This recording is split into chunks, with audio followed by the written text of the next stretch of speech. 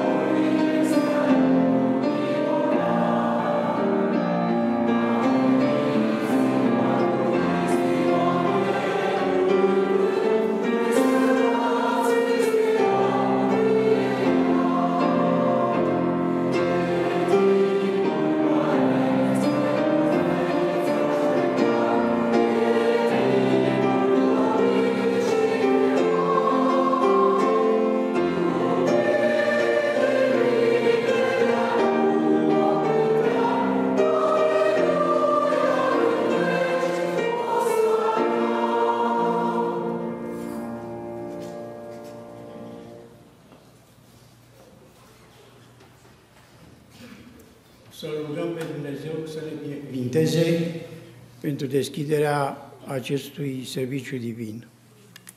Doamne, primește ofranda noastră prin smerenie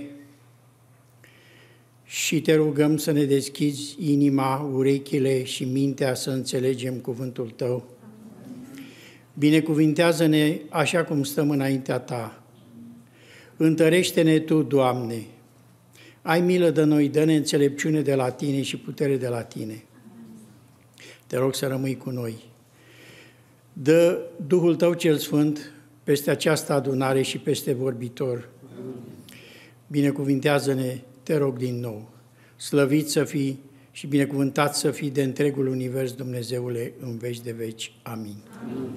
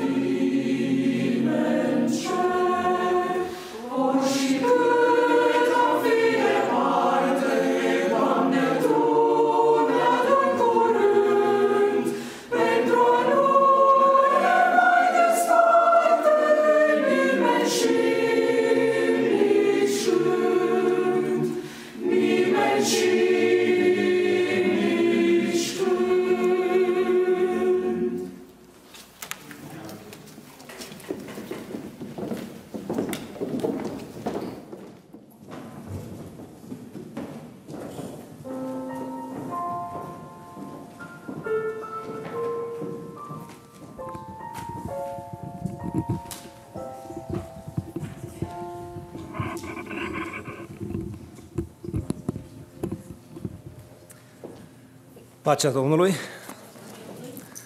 Acel uh, ultim vers uh, care poartă în sine ideea nedespărțirii, cu siguranță este un uh, vers, un gând, o încurajare pentru toți cei care uh, au experimentat în trecutul apropiat sau un pic mai îndepărtat o despărțire destul de dureroasă. Avem asigurarea din partea Domnului că acel fel de despărțiri nu va mai fi niciodată întâlnit și cu toții tânjim după ziua aceea în care vom revedea pe cei de care ne-am despărțit. În după amiaza aceasta aș vrea să discutăm, să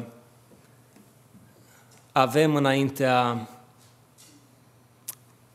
minții noastre raționale, dar și înaintea minții spirituale, un subiect de actualitate foarte mare și nu sunt eu cel care îi dă această actualitate, ci Scriptura însăși.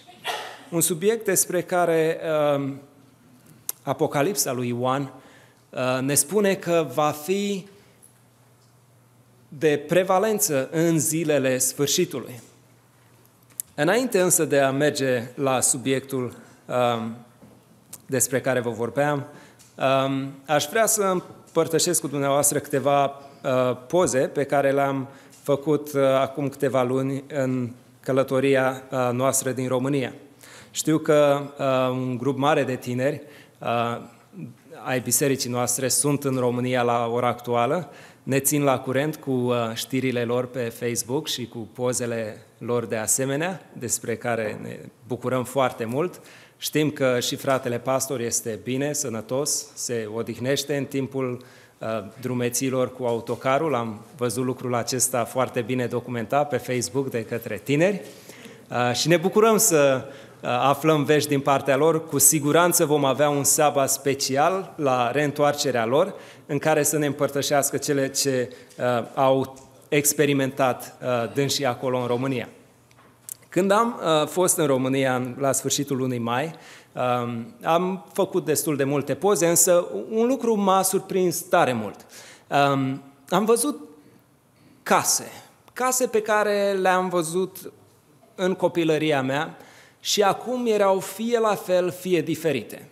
Uh, am dat celor de la media câteva poze și dacă pot să le pună pe ecran, uh, vedeți uh, din imaginile acestea, case noi. Aceasta este o vilă nouă, am făcut poza pe ploaie, este un pic încețoșată. Următoarea poză.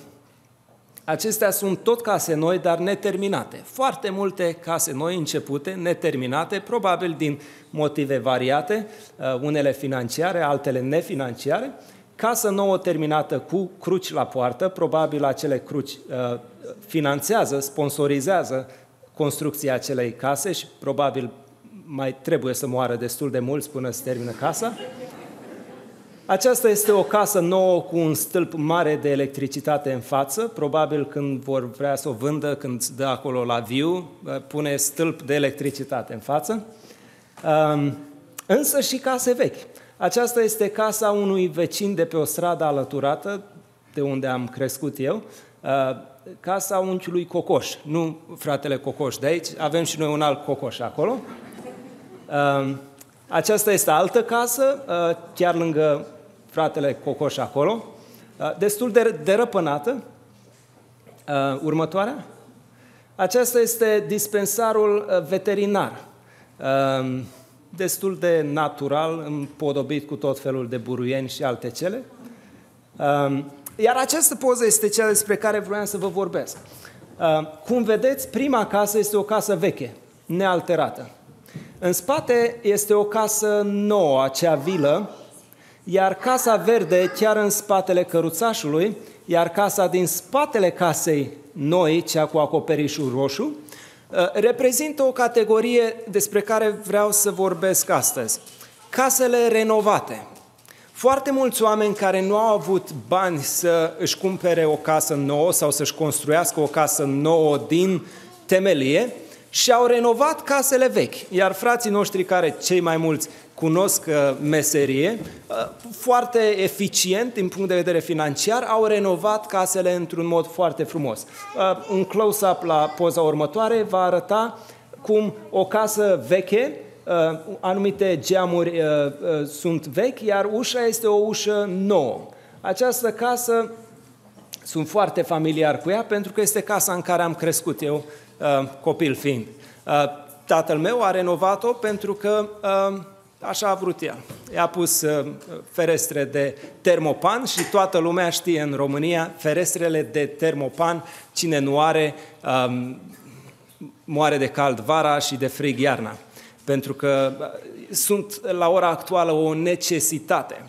Și în timp ce mă uitam la, la aceste case, unele vechi, așa cum le știam bancă, și mai derăpânate, altele foarte noi, care pe care nu le-am văzut niciodată și acum acest, uh, acest hibrid de casă uh, renovată, am realizat că și creștinismul și creștinii, noi oamenii, suntem cam la fel.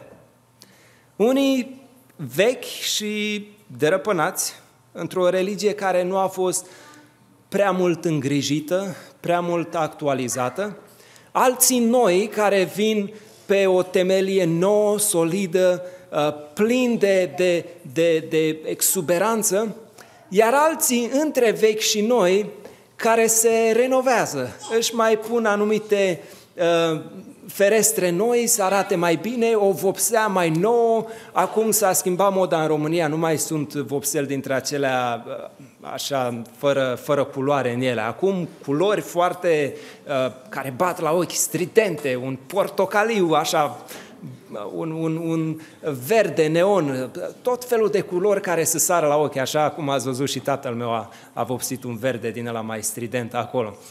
Cam așa sunt și creștinii de multe ori în ziua de astăzi. Uh, să se vadă că a schimbat. Dacă tai aceeași culoare, nici nu vede lumea că ai schimbat aici nimic. Ce rost are să mai vopsești? Pune o culoare total diferită. Uh, creștinismul în, în, în foarte multe uh, biserici și, și în contexte poartă această descriere, această înfățișare de renovare.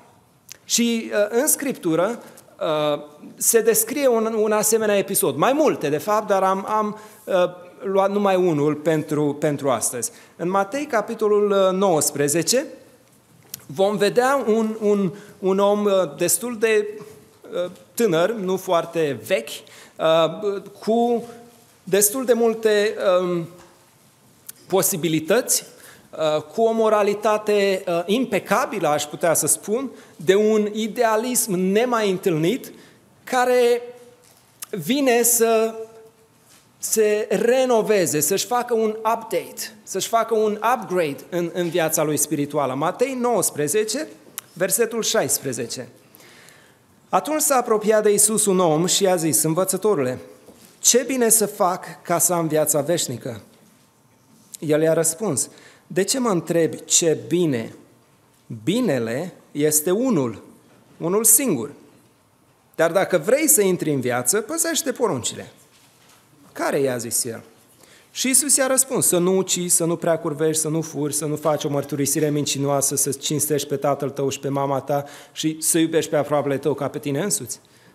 Tânărul i-a zis, toate aceste porunci le-am păzit cu grijă încă din tinerețea mea. Ce mai lipsește? Dacă vrei să fii desăvârșit, i-a zis Iisus, du-te de vinde ce ai de la săraci și vei avea o comoară în cer. Apoi vino și urmează-mă. Când a auzit tânărul vorba aceasta, a plecat foarte întristat pentru că avea multe avuții. Iisus uh, i-a zis ucenicilor săi, adevărat vă spun că greu va intra un bogat în împărăția cerurilor. Vă mai spun iarăși că este mai ușor să treacă o cămilă prin urechea acului decât să intre un bogat în împărăția lui Dumnezeu. Ucenicii, când au auzit lucrul acesta, au rămas uimiți de tot și au zis, cine poate atunci să fie mântuit? Iisus a uitat țintă la ei și le-a zis, la oameni, lucrul acesta este cu neputință, dar la Dumnezeu toate lucrurile sunt cu putință. Iată un tânăr aici care probabil era foarte familiar cu um, cărțile lui Moise, cu Pentateucul. Un tânăr care probabil crescuse cu legea legată la gât, așa cum scrie în Deuteronom 6, când te scoli, când, când te duci la culcare, când ești acasă, când ești în călătorie, să, să ai legea aceasta, să o, să o înveți, să o pui în mintea copiilor tăi, să o știe pe din afară, să, să, să, să, să o ai legată de mâini, să fie ca uh, uh, uh, niște fruntarii în, între ochii tăi. Un tânăr care era foarte familiarizat. Un tânăr care excelează și pe care Domnul nu-l corectează. Cu siguranță că dacă nu ar fi fost așa cum a zis el, Domnul i-ar fi spus mincinosule, uh, pui de, de năpârcă. Uh, imediat l-ar fi corectat Domnul, dar problema nu era aceasta, dacă ține sau nu ține el poruncile, ci problema era una de substrat, una care se ducea la, la nucleul întrebării acestui tânăr viața veșnică. Ce să fac ca să am viața veșnică? Vedeți? Încă din întrebare putem să ne dăm seama de acest tânăr. Ce să fac eu ca să am eu viața veșnică pentru mine? Ok? Am, am adăugat câteva cuvinte ca să subliniez uh, uh, uh, uh, modul în care această întrebare este pusă Domnului Hristos. Tot ce comunică această întrebare este eu, eu, eu, eu. Iar uh, încă ucenicii când au întrebat la sfârșit și au spus, Doamne, dar cine, cine în lumea asta poate să intre în împărăția cerurilor? Știți de ce au întrebat lucrul acesta? Pentru că în concepția populară iudaică, un om bogat care era de asemenea cinstit, nu cum era Zacheu, pe Zacheu imediat l-au pus în categoria păcătoș, păcătoșilor. Dar un, un om bogat și cu o moralitate deosebită era exemplul cel mai concret al binecuvântării lui Dumnezeu. Dacă erai bogat, sănătos, corect, onest, aveai respectul oamenilor, aceasta era o evidență Uh, clară, concretă a faptului că Dumnezeu te iubește. Și Domnul Hristos a spus, nu se poate, nu, omul, omul ăsta nu intră în ceruri. Și ucenicii au fost șocați, au spus, dacă, dacă ăsta nu intră în ceruri, păi ce să mai zic de noi, pescarii, care abia ne, ne, ne plătim uh, uh, taxele și bilurile uh, uh, lunare? Problema uh, uh, pe care Domnul Hristos o, o, o, o prezintă um, ucenicilor aici este la baza teologiei soteriologice pe care Scriptura în întregimea ei, în Vechiul Testament și în Noul Testament, o descrie omenirii. Problema salvării este cea pe care Domnul Hristos o descrie aici. Uh, dacă vă uitați pe Wikipedia, o să spună că uh, acest uh, pasaj se referă uh, la sfaturile evanghelice cu privire la castitate, sărăcie și ascultare. Neapărat am vrut să aduc acest uh, punct în, în uh, uh, discuție pentru că uh, descrie peste 2000 de ani cât de superficială încă mai este înțelegerea și atitudinea oamenilor de rând cu privire la acest pasaj. Ascultați, sfaturile evanghelice cu privire la castitate, sărăcie și ascultare. Tot ceea ce au rămas oamenii încă peste două, două, 2000 de ani a fost problema sărăciei, a ascultării și a castității. Pe câtă vreme, această întrebare, ce să fac ca să câștig, ca să am viața veșnică, merge la, la, la miezul problemei uh, umanității în contextul, în contextul istoriei mântuirii. Ce să fac? Și Domnul îi dă răspunsul pe care învățătorilor i l-ar fi dat. Păzește poruncile. Și acum tânărul își dă seama că nu e de ajuns. Nu e de ajuns. În momentul în care spune ce mai îmi lipsește, Domnul Hristos spune, deci vrei să fii perfect, vrei să fii desăvârșit. Această tendință spre perfecțiune a fost întotdeauna imprimată în conștiința omului, din orice timp, din orice rasă, orice cultură, orice religie. Omul întotdeauna a vrut să fie perfect și Domnul Hristos îi spune, deci tu vrei să fii perfect, vrei să fii desăvârșit. Bun, atunci va trebui să derulăm, să, să, să dăm înapoi tot ceea ce am discutat până acum. Și uite ce va trebui să facem. Sunt câteva verbe care subliniază procedeul aici. Spune așa, du-te, primul verb, du-te. Vrei să fii perfect? Du-te, pleacă, întoarce-te. Am avut un uh, student în vara aceasta, a terminat liceul și a venit la mine și mi-a zis, pastore, știi, am avut o viață cam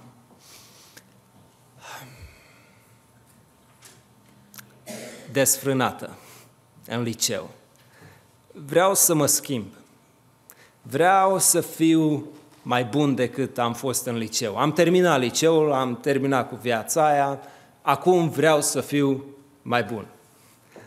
Uh, s-a întâmplat ca cu o zi înainte să văd într-un uh, magazin aici în Stater Brothers, lângă uh, la Redlands, un poster cu un deci nu știu ce era, un, un, un nene care stătea într-o poziție de yoga și scria acolo Good Stash Spiritual Advisor. Și i-am spus, uh, man, du-te la Good Stash, de, te învață el cum să fii un, un om mai bun.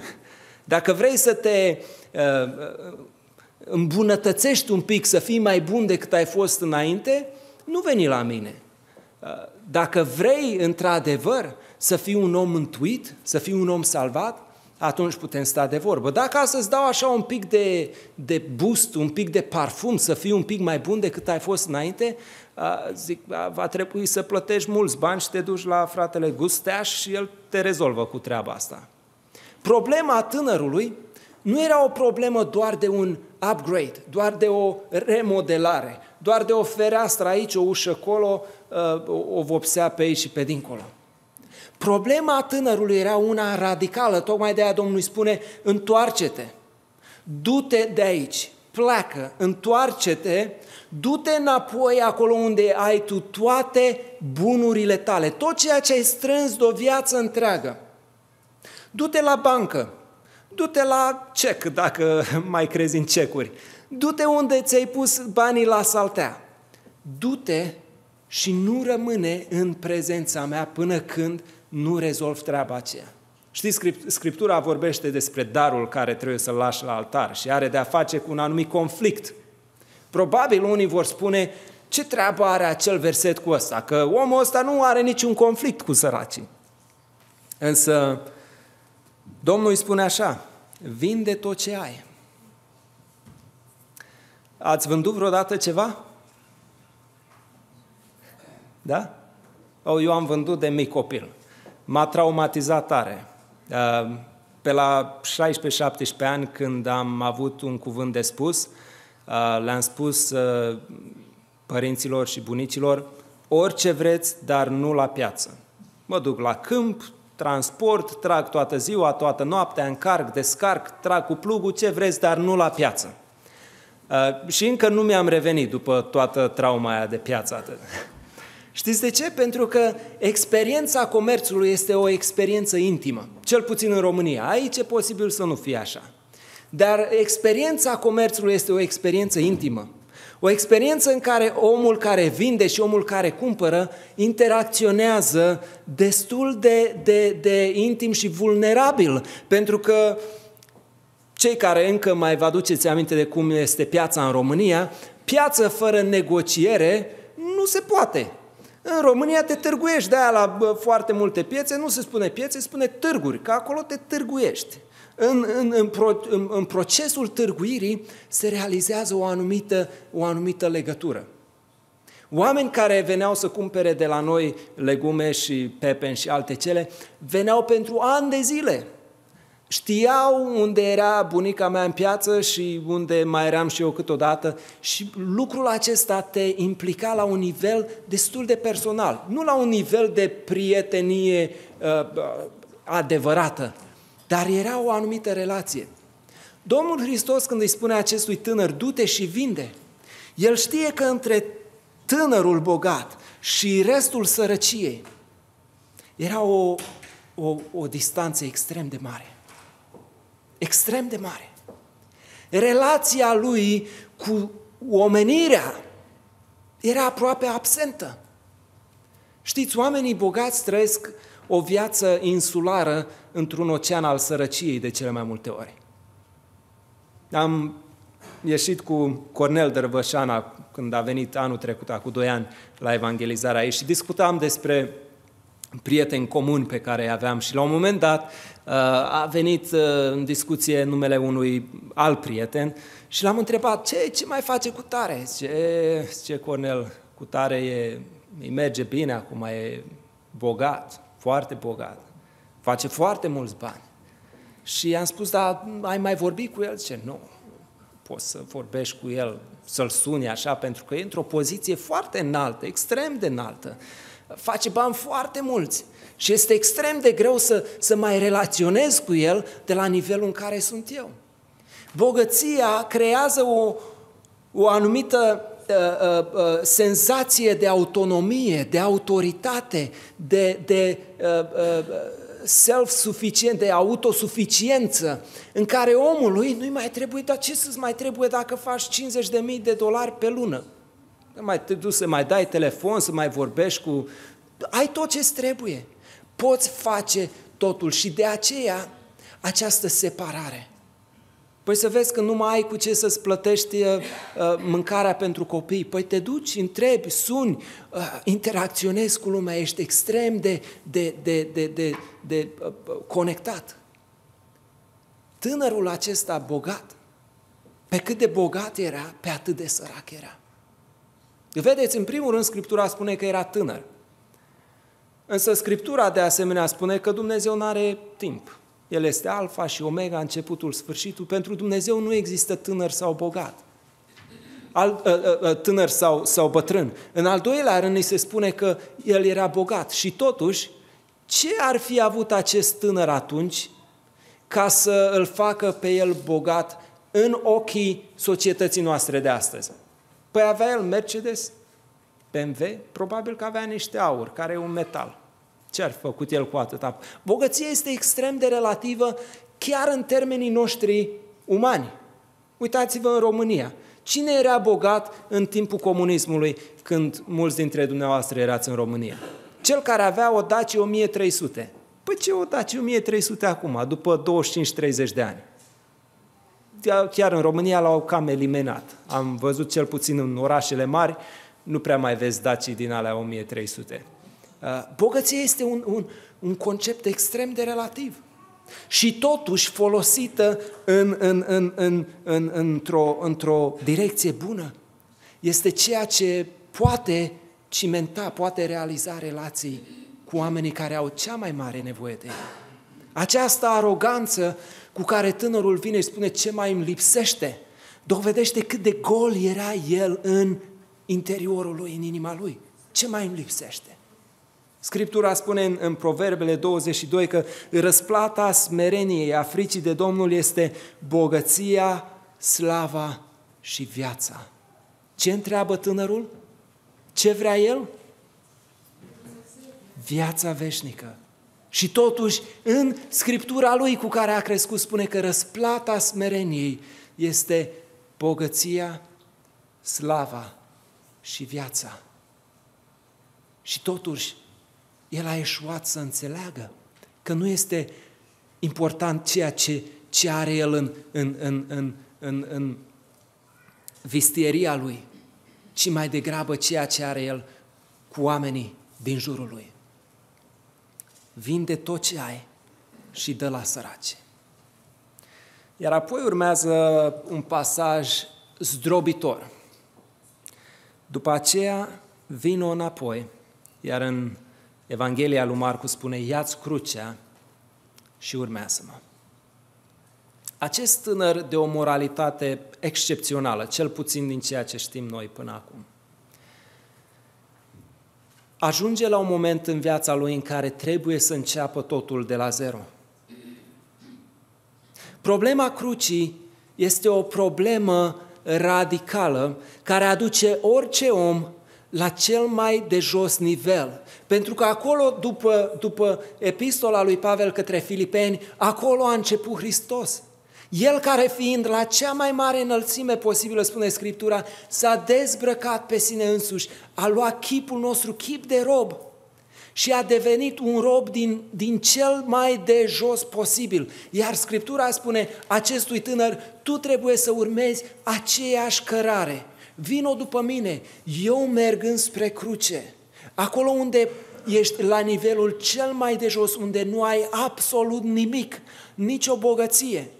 Vedeți, Dumnezeu care este cel mai bogat, nu are nevoie de oameni bogați ca să servească pe El.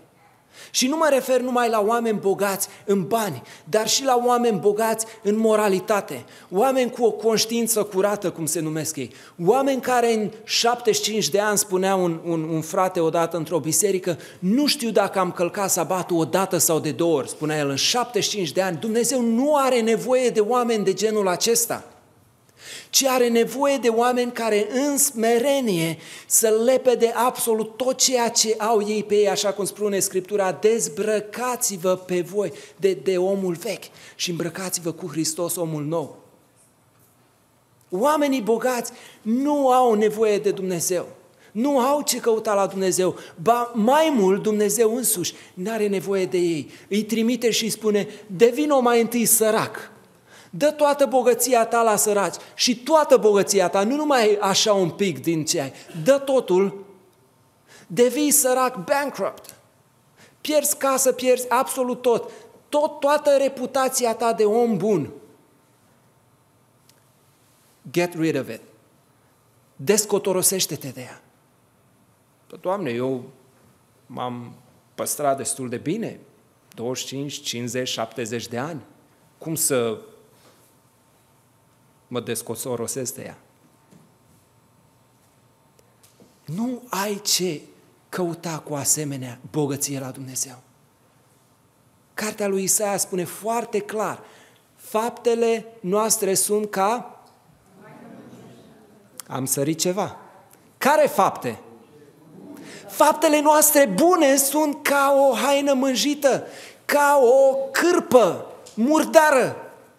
Nu faptele noastre rele. Păi dacă faptele noastre bune sunt ca o haină murdară, cum sunt faptele rele?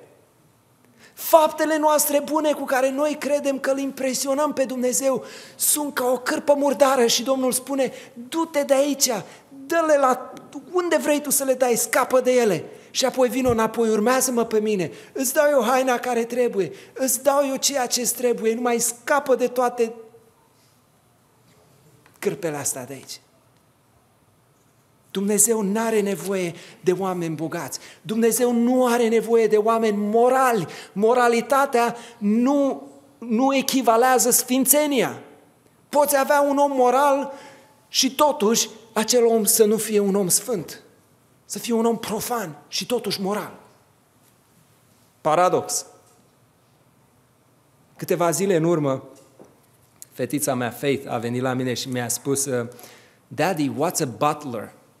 Uh, tăticu, ce este un majordom? Un cuvânt destul de fancy pentru ea în limba engleză. Și m-am gândit eu un pic cum să explic pe limba ei și am spus zic că Faith, un, un, un butler, un majordom, este o persoană care slujește la casa unui om bogat. Și ea s-a stat un pic pe gânduri câteva secunde și a spus, uh, uh, Daddy, I serve God. Am I a butler? Spus, tăticu, eu îl slujesc pe Dumnezeu. Sunt eu un majordom? Um, vedeți, copiii înțeleg că la casa unui om bogat nu poți să angajezi un majordom bogat. Ați auzit vreodată de un majordom bogat care servește pe un om bogat? Nu. No. Nu. No. Oamenii care servesc pe oamenii bogați sunt oamenii săraci de obicei. Așa, ca mine și ca unii dintre dumneavoastră. Nu toți. Dumnezeu însuși nu are nevoie de oameni bogați. Din punct de vedere moral, spiritual vorbesc aici. Ci Scriptura ne spune în, în, în, Evangel- în, în epistola de, uh, uh, lui Pavel către uh, uh, romani, pe, pe, pe când eram noi încă păcătoși, Hristos a murit pentru noi. Pe când eram noi încă păcătoși, Hristos nu a murit pentru oamenii morali, Hristos nu a murit pentru oamenii cu conștiință curată, Hristos nu a murit pentru cei care au un, un, un trecut perfect, frumos, care au ținut legea înaintea ochilor și a inimii și a degetelor și a mâinilor lor și așa mai departe. Iar lucrul acesta, cum ne spune Pavel în Galateni, nu ne încurajează la, la, la a săvârși nelegiuirea mai mult, ci mai degrabă ne umilește, ne smerește, ne, ne invită să acceptăm acest har mântuitor. Doamne, Tu ai murit pentru mine când eu nici măcar n-aveam habar de tine, nici măcar nu știam ce este mântuirea. Cum ai putut să faci tu lucrul acesta pentru mine? Este de o, de o, de o uh, adâncime nemai întâlnită, nemai gândită. Este o taina mântuirii lui Hristos, așa cum multe alte taine sunt descrise de Scriptură. Du-te, scapă de tot ceea ce ai și apoi vino, vino după mine. Îți voi arăta calea mântuirii. Eu însumi sunt calea mântuirii. Eu sunt viața pe care o cauți vino după mine, dar fără bogăția ta. Lasă-ți bogăția ta. Pe cât de bun ai fost, o să te gigelească oamenii, spune, oh, cu tare a fost bun și... Dar nu cu mine, nu cu mine. La mine vii așa cum ești, cu hainele tale în halul în care sunt. Lasă-le deoparte, îți dau eu haina mea. Și ucenicii zic, Doamne, păi dacă ăsta nu poate. Și Domnul le spune, e adevărat, El nu poate. Și nu va putea niciodată. E ca și cum ai trece cămila prin, prin urechile acului și știu că sunt multe comentarii despre poarta aceea care necesita cămilele să se aplece, să se strecoare și cum că ar fi posibil. Nu, nu e posibil, fraților. Nu e posibil. Există în Talmudul Apusean o ilustrație despre un, un evreu care spune nici măcar în visele lui nu putea să-și închipuie un elefant care să treacă prin urechile acului uh, uh, chirurgical cu care se coseau rănile. Uh, este imposibil. Scriptura ne spune că dacă ar fi fost posibil prin faptele noastre, degeaba ar, ar fi murit Hristos. Foarte clar. Nu prin faptele nici unui om. Este imposibil pentru ca oricât de bogat sau cât de sărac ar fi un om să poată să fie mântuit. Citind comentariile de la Matei, de la Marcu și de la Luca, toți comentatorii agrează că nu se poate. Această alegorie pe care Hristos o folosește cu Camila nu dă nici cea mai mică șansă oricui să poată să fie salvat prin sine însuși. Hristos spune clar după aceea, la oameni este cu neputință, este imposibil. El le spune multora, spune, tu nu ești departe de împărăția lui Hristos. Dar, din păcate, nu ești cu nimic mai bun decât la care este foarte departe. Pentru că niciunul dintre voi nu este în împărăția lui Hristos. Domnul Hristos spune, la Dumnezeu este cu putință. La Dumnezeu este cu putință. Pentru oricine, indiferent cine ar fi persoana respectivă. La Dumnezeu este cu putință. Pavel însuși vorbește, vorbește despre trecutul lui, cum că el ar fi primul dintre păcătoși, șeful păcătoșilor. Și el spune, la mine a fost cu putință. Am fost răstignit în Hristos. Și nu mai trăiesc eu, ci Hristos trăiește în mine. De acum încolo, bogăția mea este ceea ce aduce Hristos cu sine în viața mea. mulți oameni m-au întrebat despre un pastor destul de care a avut o influență destul de mare în biserica noastră și care ar fi uh, avut o cădere morală, așa cum o descrie dânsul în scrisoarea lui de retragere uh, de la conferința în care slujea. Și mă întreabă, dar frate, ce zici despre? Ce să zic, frate? Uh, cine crede că stă Dacă nu ar fi fost Hristos în viața oricăruia dintre noi, cine ar putea să stea? Cine crede că este bogat? Să se analizeze din nou. Cine nu vede cât de gol este să-și ia medicamentul din partea Domnului ca să poată realiza cât de firavi suntem. Care dintre noi de aici ar putea spune că eu mi-am ținut căsnicia impecabilă pentru că sunt așa de bun? Care dintre noi ar putea spune eu mi-am ținut corpul, sănătatea într-o stare impecabilă, că n-am băut sau n-am fumat? Care dintre noi poate să, să, să vină cu orice fel de pretenții să spună cât de bun sunt eu?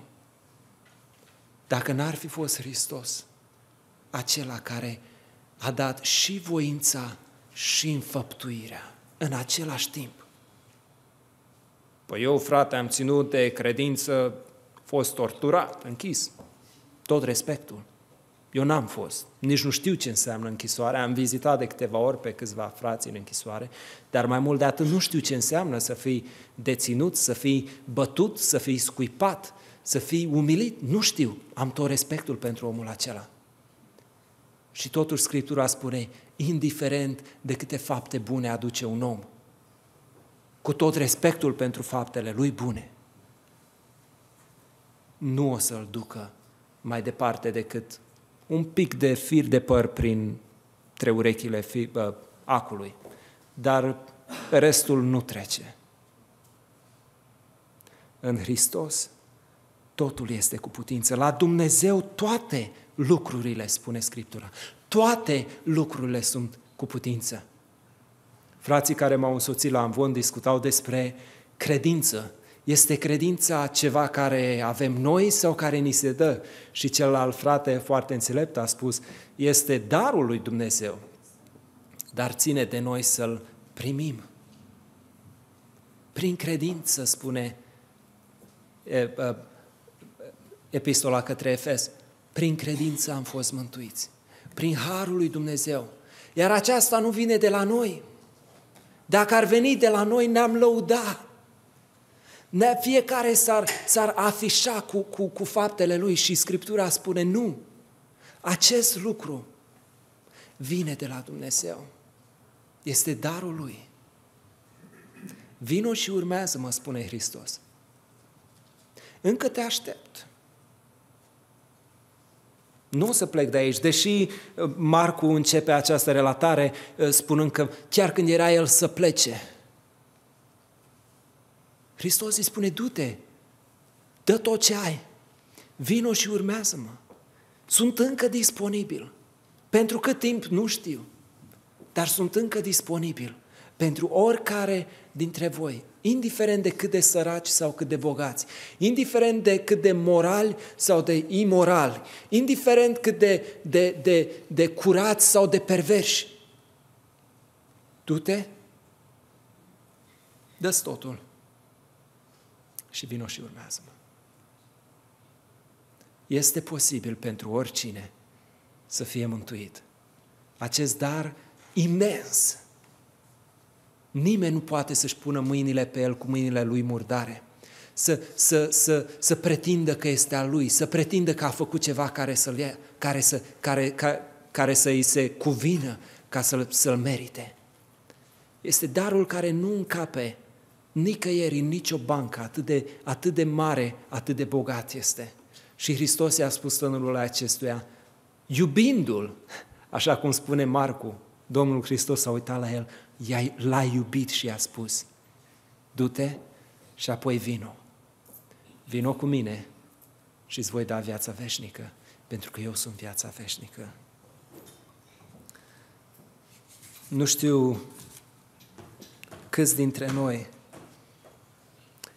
se consideră înțelepți sau puternici sau bogați. Pavel în, în Înția Corinteni, capitolul 1, spune uh, corintenilor, știți, printre voi, uh, pe cât de înțelepți sunteți voi grecii, printre voi nu prea sunt prea mulți înțelepți în felul lumii.